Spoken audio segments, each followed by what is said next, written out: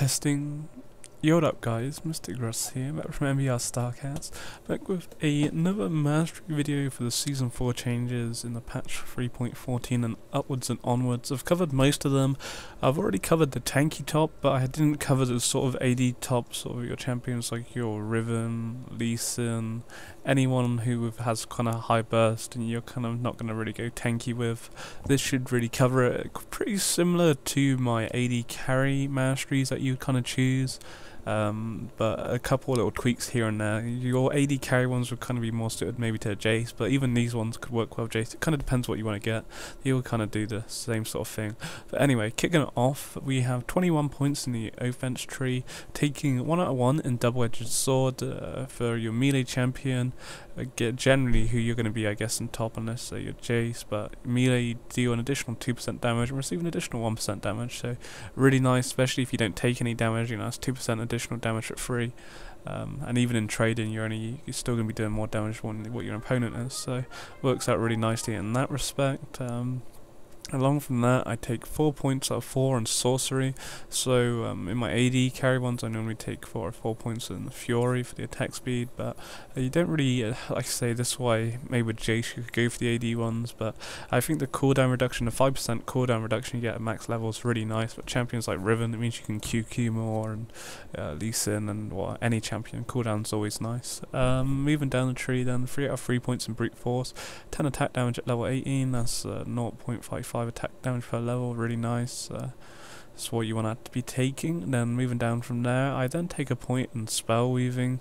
Um, one out of one, damage in any champion with a basic attack increases spell damage by 1%, stacking up to 3 times max, 3% damage increase. So again, really nice for champions like your Riven really, or any, anyone where you can kind of cast moves pretty quickly. Um, all sort of every little bit counts. Uh, then moving on from there, I take 1 out 1 on the Martial Mastery, uh, increasing my attack damage by 5, so obviously with the Brute Force Mastery point, that gives us 15 additional attack damage by level 18, and 5.55 at level 1.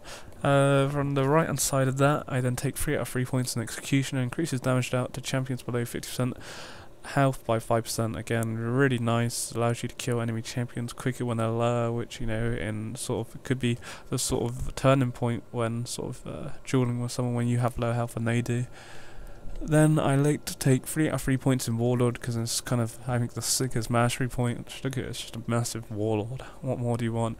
Uh, that increases bonus attack damage by 5%, so really OP. To the right of that, I then take 1 out of 1 in the Dangerous game because we're dangerous. Killing the champion restores 5% missing health and mana.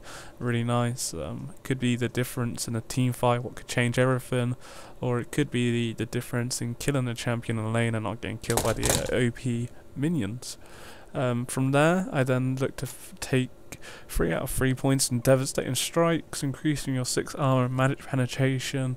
Generally, you, are going to be playing AD. You may have a little 1 AP move, so it's not really important, but it's so important for the armor penetration. That 6% is really nice. That's really good. Um, and on, then on top of that, you uh, take a final point in Havoc, which is 1 out of 1, uh, increasing damage by 3%, so a really nice kind of mastery point, and that sums up all 21 you want to take in the offense tree, so kind of similar to your AD carry, but obviously with the tweaks in the sort of cooldown reduction, and also the point and spell weaving kind of being the main difference. And then I then look to take 9 points down the defense tree, leaving 0 in utility, because fuck, fuck who needs utility. Um, so the 9 points in defense tree, starting off with 2 out of 2 in block, reduces incoming damage from champion base attacks by 2, very nice. Moving to the right of that, 2 out of 2 enchanted armor, increases bonus armor magic resistance by 5%, you know, every, again, every little counts, that 5% is quite an amount. Then moving down, I go for Unyielding. Uh, that basically for immediate champions reduces all incoming damage from champions by 2. So again, really nice, kind of working well with block. And then look to get Veteran Scars, max level 3 out of 3 points in that with uh, the 36 health that we gain at max level, and then I then look to take a point in Juggernaut for my last point in the defensive tree, um, the 1 out of 1, which gives me plus 3% maximum health, which is really kind of, again, really nice, and that pretty much wraps all the, the mastery points that you need to know for when choosing a top lane AD sort of bruiser like your Rivens, your Lee Sins, Jaxes, and kind of so forth, so forth. So hopefully that's explained it. Like I said, it was pretty similar to the AD carry one, but with some little tweaks here and there. So hopefully that's all you need to know. If you have any questions, or you stuck with anything, drop me a comment below and I'll get back to you when I can. So have a good day, take it easy, peace.